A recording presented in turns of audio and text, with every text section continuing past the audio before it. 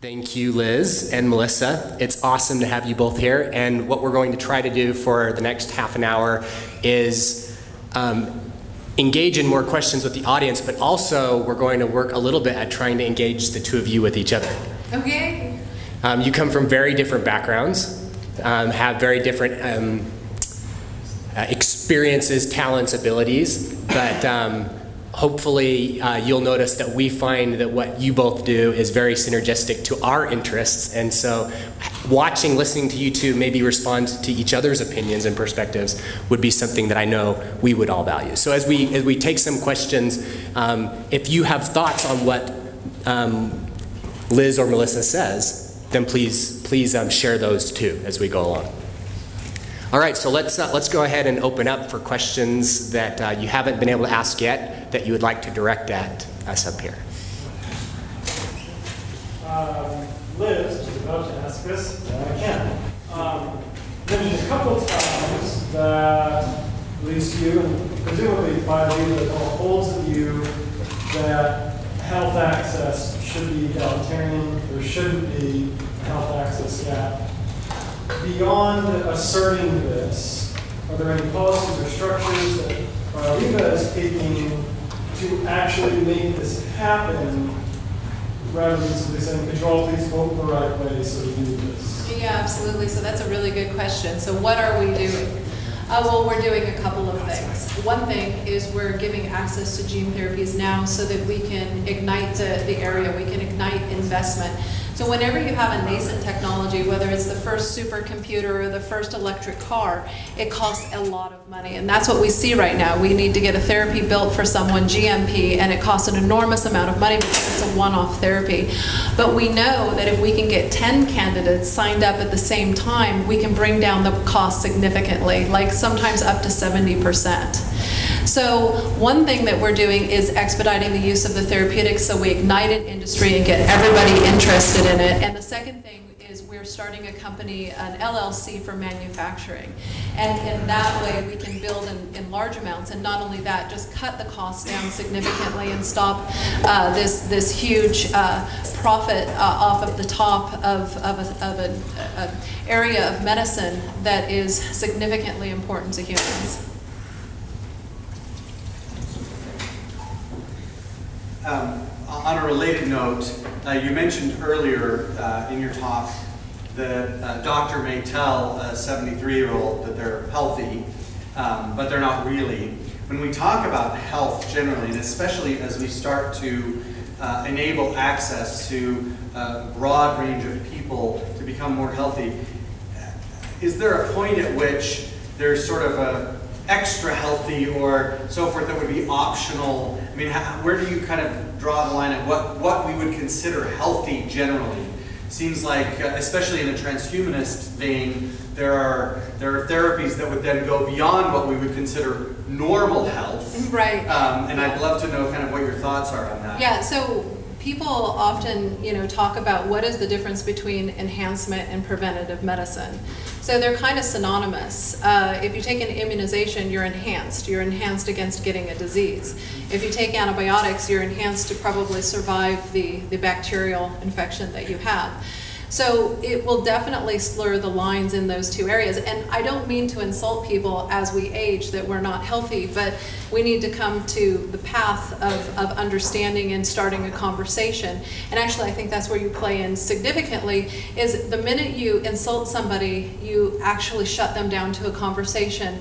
And what I really like about what I've seen here is this idea of a movement, of, of what uh, Micah called the superorganism, that we have the potential to affect people and by a multitude of different mindsets and different ways of communicating with one another and having different people going out in there do it. I can't do it on my own. Um, we can actually reach more people and create critical mass. So, but as far as biologically, what are we looking for in a human? Well, when you're an embryo, you know, by the time, from an embryo to the time you're born, your telomeres go through 3,000 base pairs of attrition and up to 10,000. And you only have 5,000 more attritions left before you're generally diagnosed with an end stage disease, correlated. So we need to become more than what we are even born as. Okay, so don't get development mixed up with biological aging. You're biologically aging from the point of conception to the point of your death. Development is just a stage of, you know, growth hormones and things like that that create a, a young organism to an adult organism. But the aging process and damage is happening throughout there. And scientifically, we can actually now see in some people signs of Alzheimer's in their 20s signs of atherosclerosis around the same ages. We're going to become better and better at predicting what's going to happen to you down the road. But integrating the whole situation here is we need to have a conversation. You know, on that note, I'm wondering, Melissa, how do you think that the people in the True Jesus Church would react to Liz's presentation today? Well, they'd probably tell you to pray really hard. I actually have this really interesting story. So there was this, I guess it's a, a different kind of medicine, but there was this um, a lady in 19 in the 1930s, um, and she was a nurse, a trained nurse, and um, in the city of Wuhan in China. And she was also a member of the True Jesus Church. And one day, some guy came into the True Jesus Church, and he was um, sick, and he was looking for someone to heal him, and she'd never done it before but she put her hands on his head, and he said, he cried out, and he said, Why is it when you put your hands on my head, my whole body burned? And then apparently he was healed. Um, now, on the other hand, Wei Enbo, the founder of the True Jesus Church, um, was theoretically miraculously healed of tuberculosis in 1916, and then he unhealed himself, or he, he died in 1919. So it's always hard to kind of you know, it is, it's not really apples to apples when you're talking about you know religious healing and, and medical healing. I actually have a question, uh, not a question, but kind of um, just a comment. Um, I know how it feels to have uh, to have something going on with your body that's deeply frustrating and that's like really. I have cancer right now, actually, and I've still got my port installed. I think I'm technically a cancer survivor because I'm past chemotherapy. Does that make you a cancer survivor?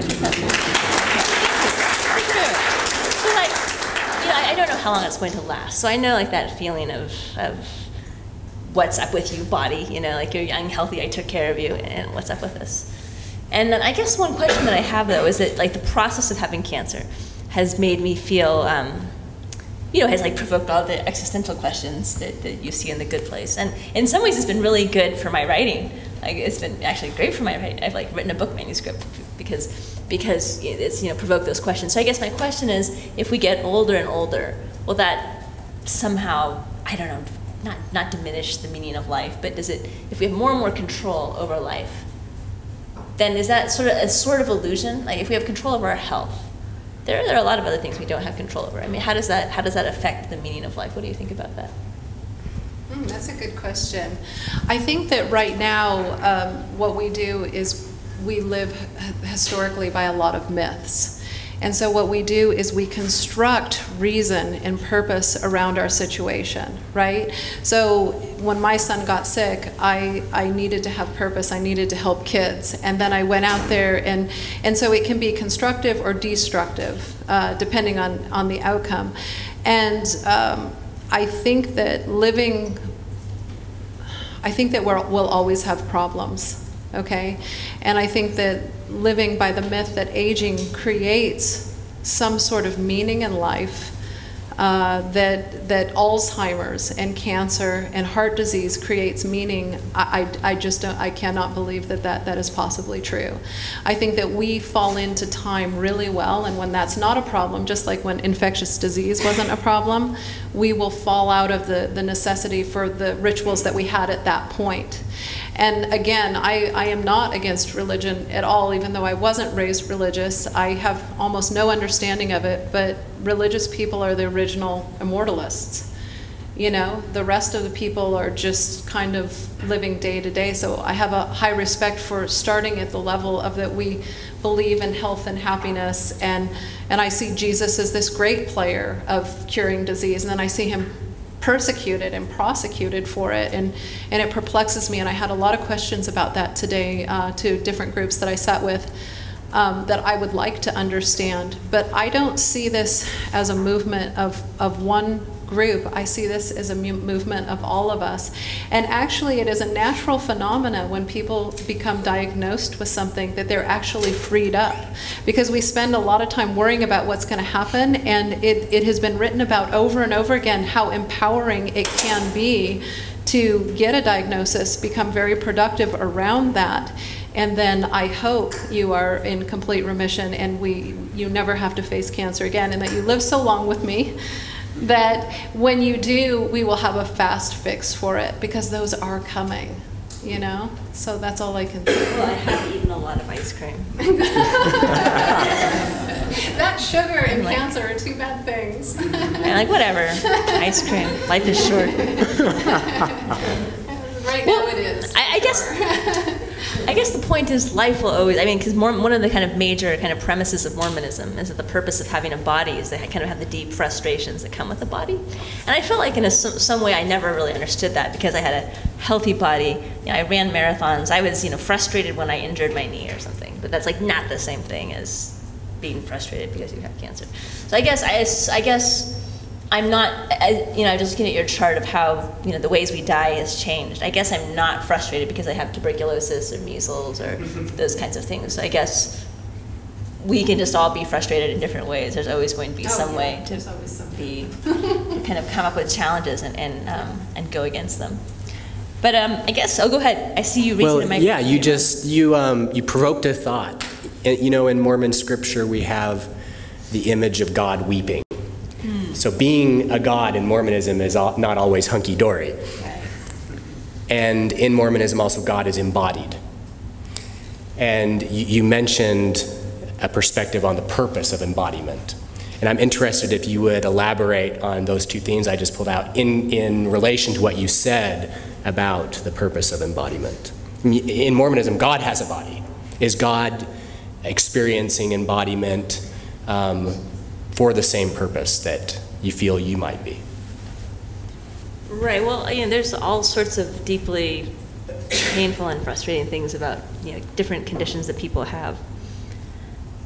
But I guess what I would say, um, I think you know Latter Day Saints believe that God's power comes from you know overcoming challenges, and, and it's not about you know, life is not a competition. Lots of things happen to you. And, and I guess um, what I've discovered is that um, you know, we think about God as this kind of all powerful being who has all this you know, capability and is kind of impervious to problems.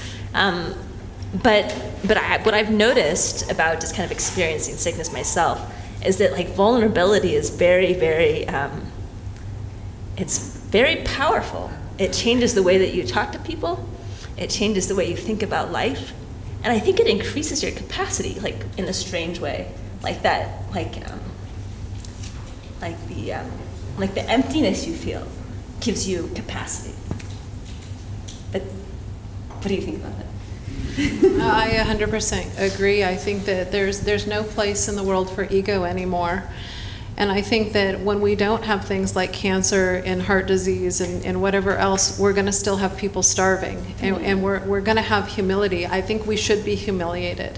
I do not think that we are, you know, on the path to becoming gods and goddesses. I think that we're on the path to, at best, upgrading the human and, and understanding ourselves better and, and the world better. And um, I think that it should be a, a, process that we take quite seriously, and I don't think that there's room for egos here. I, I think that humility is a really important thing, and I feel like I experience it on a, on a daily basis, um, and sometimes uh, very strongly, and, and sometimes uh, not.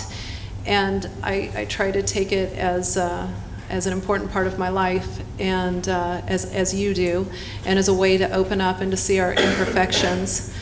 And um, I think that it opens me up to criticism. You know, our company has always been open to criticism. Criticize us and help us fix the problem. Mm. Help us see what the problem is because we have to do this together. I cannot do this alone. I cannot stand alone and, and, and try to create a, a world of safe therapeutics, I have to, you know, people have to help me, and, and whether that's safe therapeutics or, or um, communicating with people and sharing your, your, um, uh, your experience, and, uh, which is, is incredibly powerful, um, and working through your networks and me working through mine, we, we kind of have to work towards the, the same goal, and which, which is a, a, a malevolent society that, that has a reason to live much longer with each other. Um, because if we all have a zero sum game that we're just looking for our own endpoints, we, we're going to lose or end up with a world that we don't want.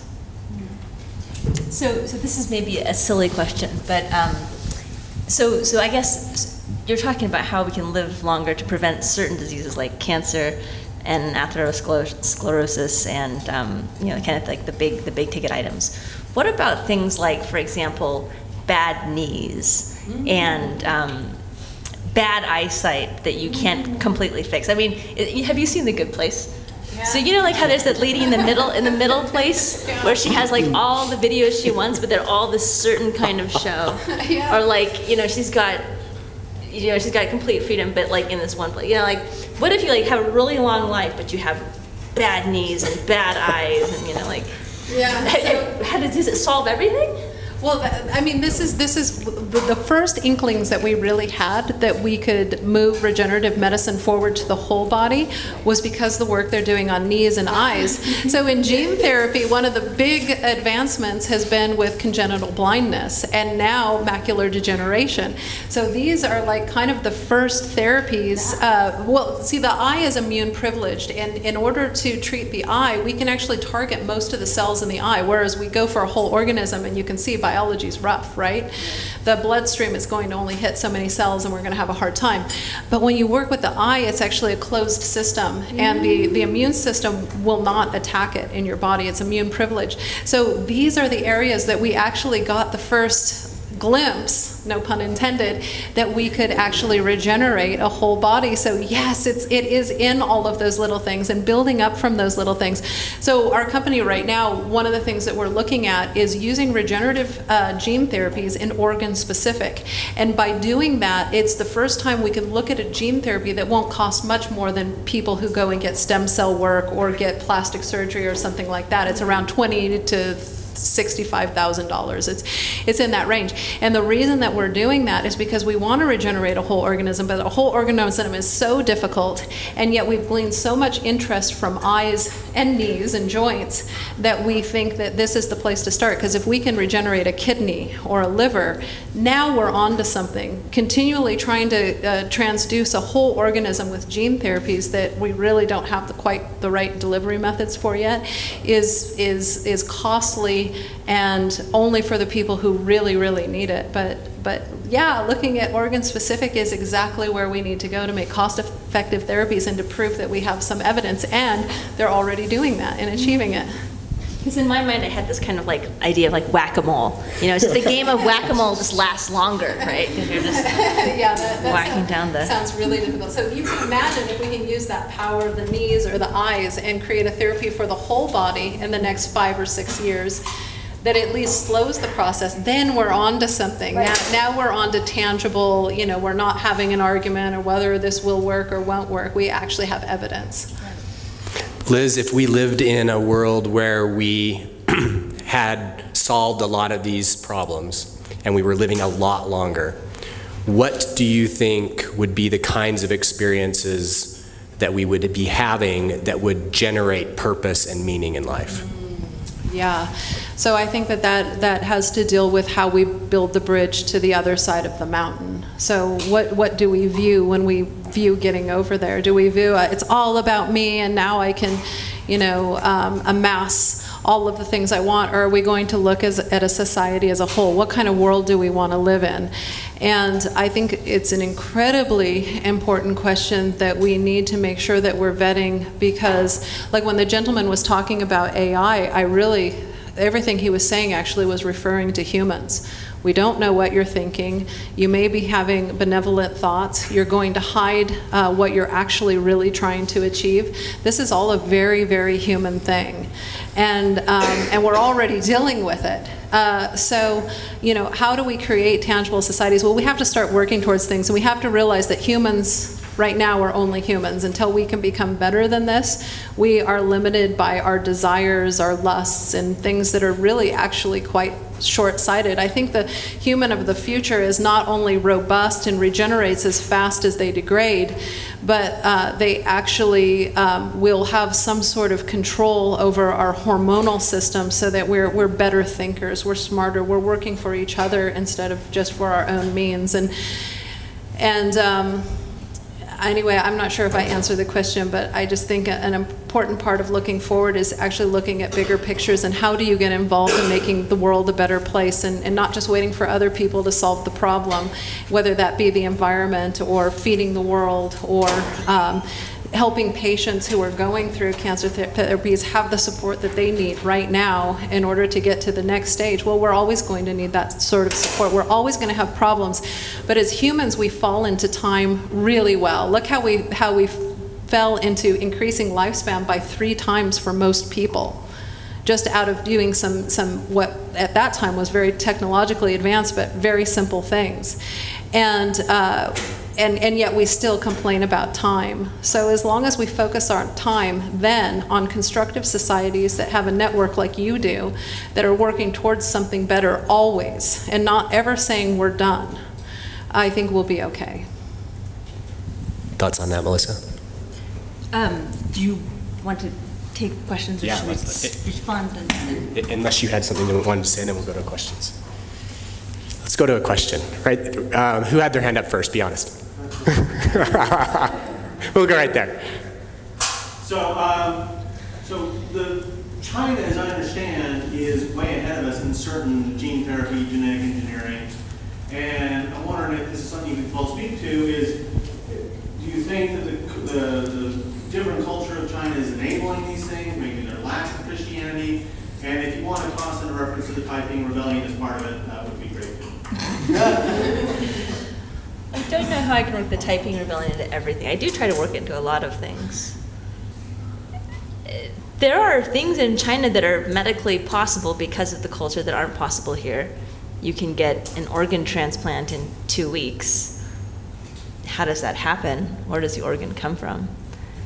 Um, I, I don't know that much actually about gene editing or gene therapies in China. It is true that there's a different um, set of kind of ethical and ideological constraints there.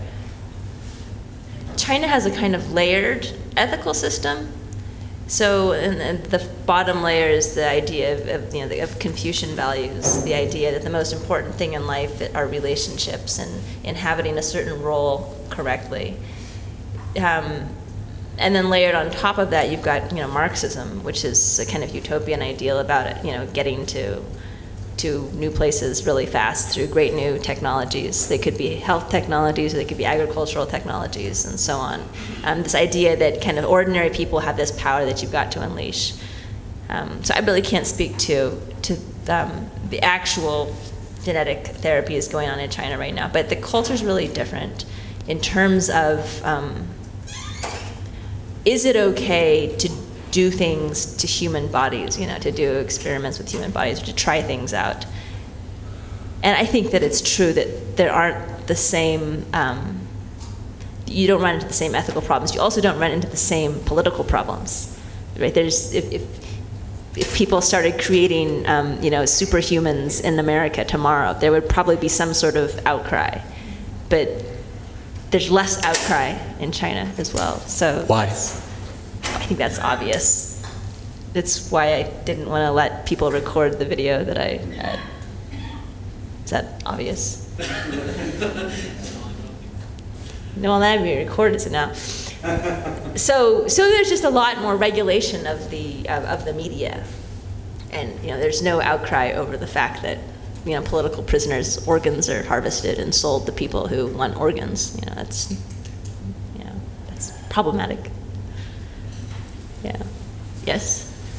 Um, so I'm a primary care doctor, and family medicine has its roots here in America, and it's, it's just now starting to come to China.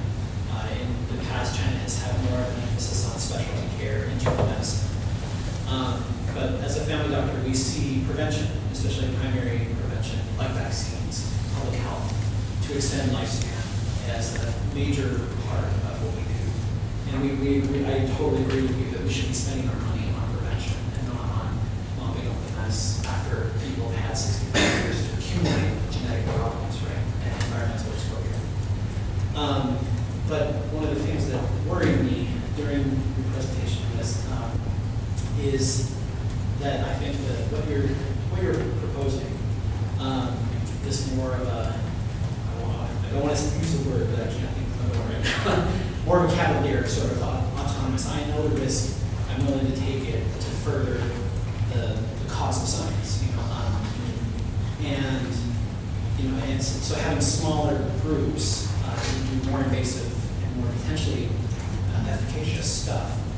Um, Going in, knowing the risk, I'm assuming this, you know, that they're, they're well informed, they've gone through the process of informed consent with the physician or whoever's going to administer these tests. Um, You know, of course, there's statistical issues with small groups, you know, is, is the group big enough to support the, the, the recommendations coming out of that study? Um, on board the group with that, but the bigger the number of people, obviously, the better the power.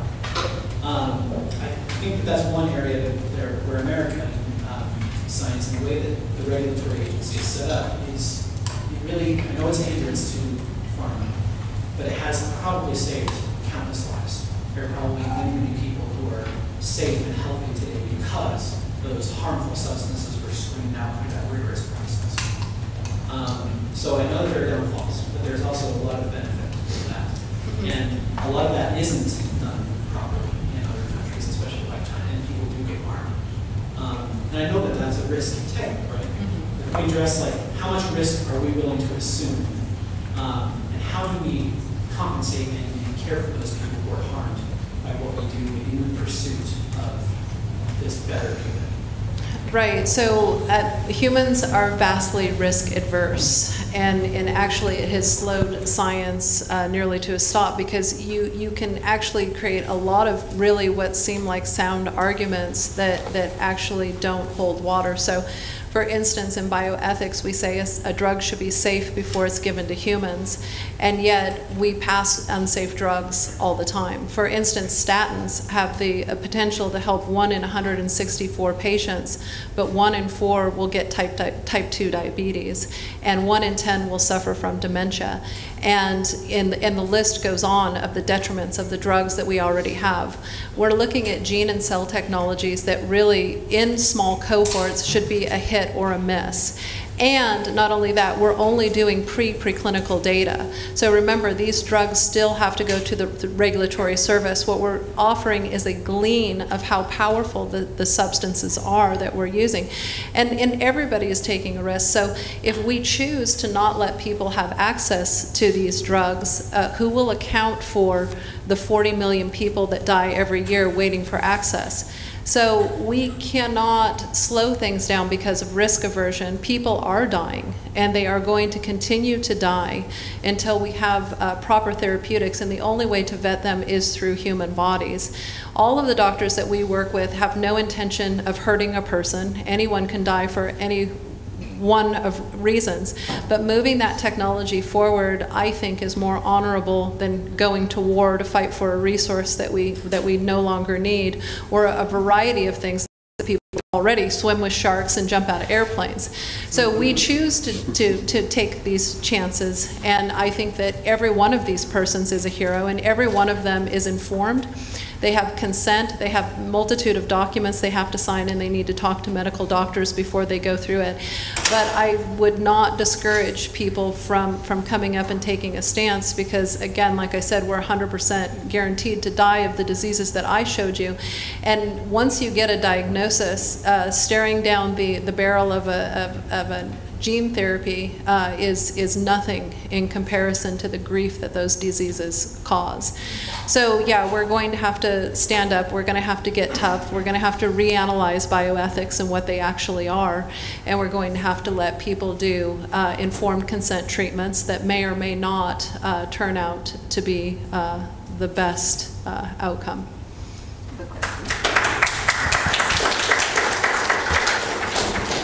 So is gene is gene therapy? Does it matter um, what a person's race or um, gender is, or is it is it just just the humanness of them?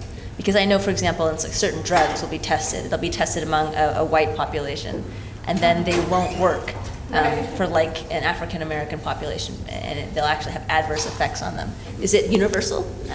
So when we look at the human genome, we're almost identical, down to just a few percentage of our genes, but those genes do make a big difference. And so, you know, as we understand the genome more, we'll understand better how things will relate to us. But the, the gene therapies that we're starting with, uh, remember, they have animal data and they have human co- toxicology data and some human use, right? And they're universal genes. Uh, increasing muscle mass and lengthening telomeres is the same gene therapies for everyone.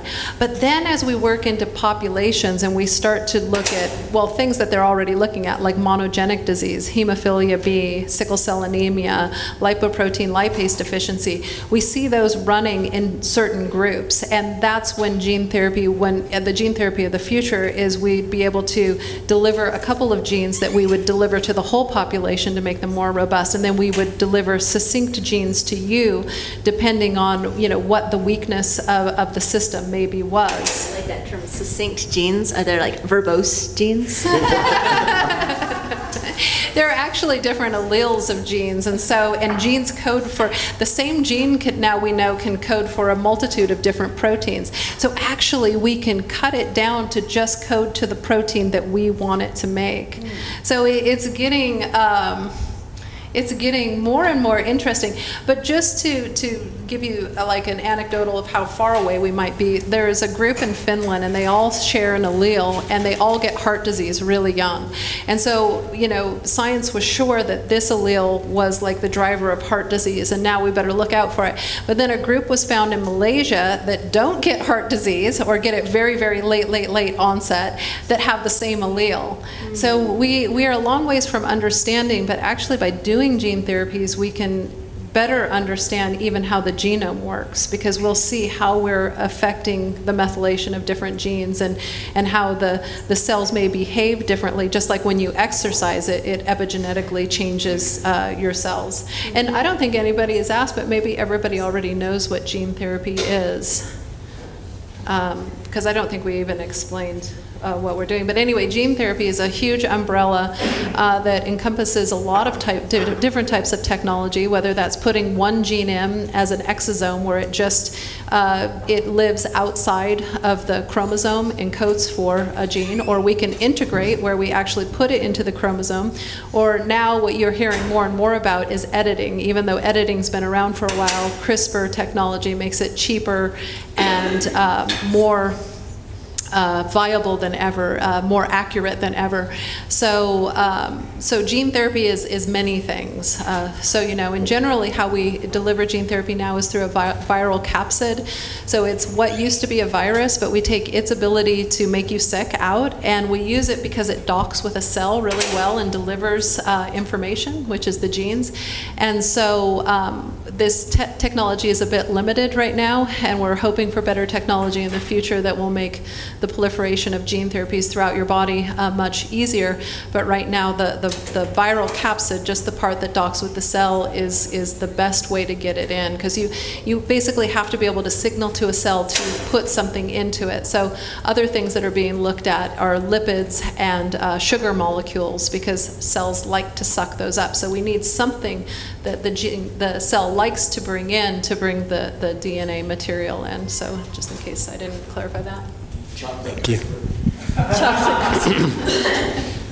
Um, This is a Mormon uh, transhumanist group, so when you said, Liz, that- that we're not trying to be gods or goddesses or anything like that. We're not you- what? Trying to be gods or goddesses. We're actually all okay with that. I- uh, Lincoln made the point, I just wanted to make it out loud, that uh, for us, there's not this idea that a god or a goddess is beyond compassion, is beyond pain. In fact, they might be the most pain-filled entities in the universe. It's, so it's, it's a big deal on the downside as well. The, the idea of love and compassion, it can maximized it's hard to, in other words, who Yeah. would want that if I can't handle, you know what I'm trying to say? Right. God, God isn't this being for us that is this, uh, Platonic ideal. yeah, platonic ideal beyond all. It's, it's very much hum, human emotion as Yeah, well, right? I, yeah, I understand better now. I sat with a group um, during the breakout sessions, and um, the, the topic was, w- do we become gods and goddesses, or whatever, I say goddess, I love all the goddesses. Sure. Um, And, and I just, my take on it was no, immediately, because that's something bigger uh, to strive for, something integrated or a consciousness that, but, but, but be, different people had different ideas. And really, where we all, when we didn't come together, it's because we didn't have a definition for it. And so, me especially having no definition for it, I'm at an impasse. So, I would love to sit down and have described to me what that is. And, and maybe for everyone, it's different. So, I don't know. Melissa, what is God?